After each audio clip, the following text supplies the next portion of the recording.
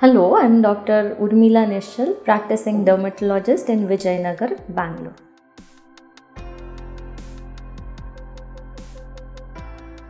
Well, in some individuals whose skin cells are very sensitive, they develop some red itchy lesions on the skin on exposure to cold.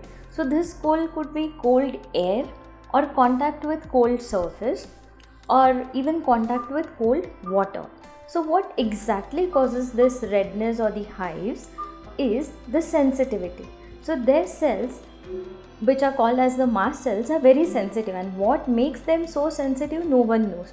So, on exposure to cold, what happens? These mast cells break open and they release some chemical substances like histamine.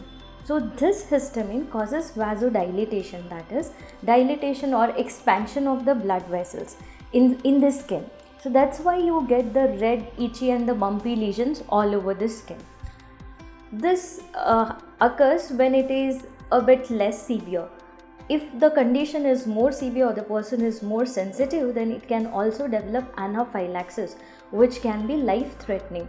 In this, what happens? is swelling of the lips, tongue, and the throat also, so thereby making breathing difficult, and there might be a low blood pressure and loss of consciousness so if you have any of uh, these symptoms like you know little bit of giddiness and um, lightheadedness post exposure to cold water or cold weather you have to be careful and you can consult a dermatologist. As the uh, treatment aspect of this condition what can be done is uh, if you know you are sensitive and you are about to get exposed to the cold uh, weather or cold surface then certain medicines called as antihistaminics like fexofenadine, levocetirizine can be taken beforehand.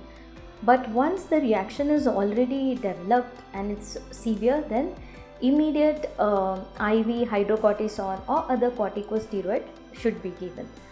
And the best thing in this condition is avoid the predisposing factors, that is, avoid exposure to cold.